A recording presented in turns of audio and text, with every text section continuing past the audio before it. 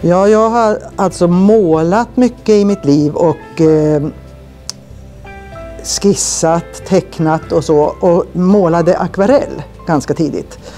Och eh, när jag blev sjuk när jag var 50 år, då målade jag och må, ganska flödigt. Mycket akvarell, mörka bilder från början eh, därför att jag var sjuk. Men så småningom även lite, lite färg och eh, ljus. Och akvarellmåleri är ganska snabbt, i alla fall så som jag målar med mycket vatten och flödigt. Och går fort. Och jag är ganska energisk och otålig av mig så att jag, eh, det blev mycket bilder. Och då på något vis behövde jag göra någonting lugnt också och vävning är precis tvärtom. Det är så här väldigt, väldigt lugnt.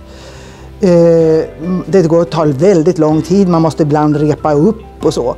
Så att det är två kanske likadana uttryck. För jag tror att om man tittar på mina vävar så ser man akvarellmåleri i åtminstone några av dem. Och tvärtom.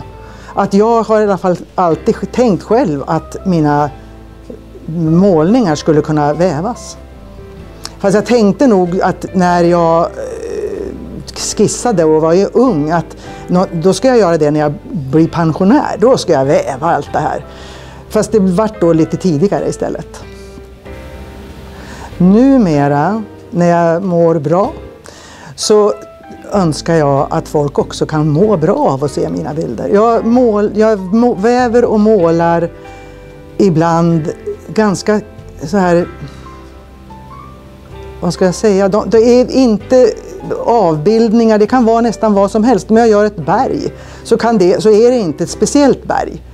Några gånger har det varit det, men det kan vara ett berg i Dalarna eller Indien eller någonstans. Det kan vara var som helst praktiskt taget.